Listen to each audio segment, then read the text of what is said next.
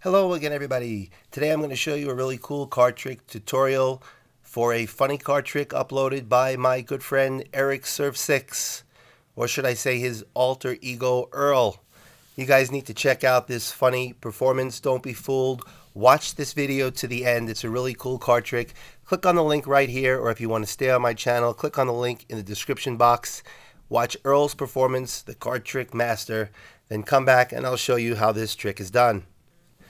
Okay, the art of being clumsy or absent-minded is mastered by the great Leonard Green. It's very powerful in effects because the spectator thinks you don't know what you're doing and it could be really powerful at the end to show them that you actually do. So the setup for this trick, I recommend you don't use the ace of spades like Earl does because the pip on the ace of spades is larger. But you want to take the uh, three of diamonds, queen of diamonds, three of clubs, queen of clubs, three of hearts, queen of hearts, and in that order place the six cards on the bottom of the deck. And now you're ready to begin. What you're going to do is you're going to start by giving the cards a shuffle and you want to maintain those six cards on the bottom. So just shuffle off those six cards and then you can be a little clumsy with the cards and say, oops, just make like you don't know what you're doing. And now you're going to turn the cards over and show the spectator, say what I have over here is the ace of diamonds. And you're going to accidentally or pretend like it's an accident, but you don't want the spectator to think you're purposely doing this, is you're going to flash, meaning you're going to actually show that it's the three of diamonds.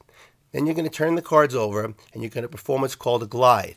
So with your pinky, you're going to slide down that card when your hand is like this and pull out the first queen.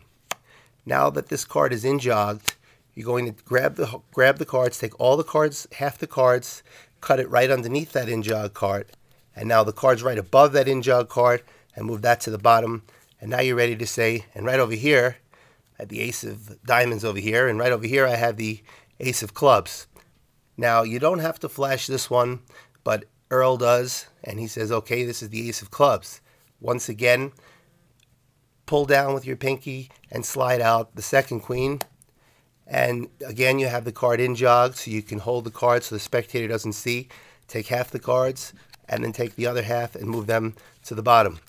You can also perform a double undercut, uh, which is a little bit more complicated if you're a beginner, but uh, I can show you how that's done. And then the third card, what you're going to do is you're going to say, and over here I have the ace of hearts, and I'm going to place the ace of hearts right over here. And that's pretty funny because he's actually removing his hand from the cards and saying, I'm placing it right over here. So if you didn't see the first two flashes, you're definitely going to see the third flash. And then you once again glide the bottom card and slide down the third queen. So now you tell the spectator, I have over here three aces, and I'm going to turn them into three, the three, and they're expecting you to say threes, and then you say queens. And it's pretty powerful. So I really like this one. Uh, it's a first that I'm showing a tutorial from Eric Surf 6, or I should say Earl, but I think this is a really easy and a cool trick to try on your family or friends. So let me know what you think. That's it. I'll see you next time.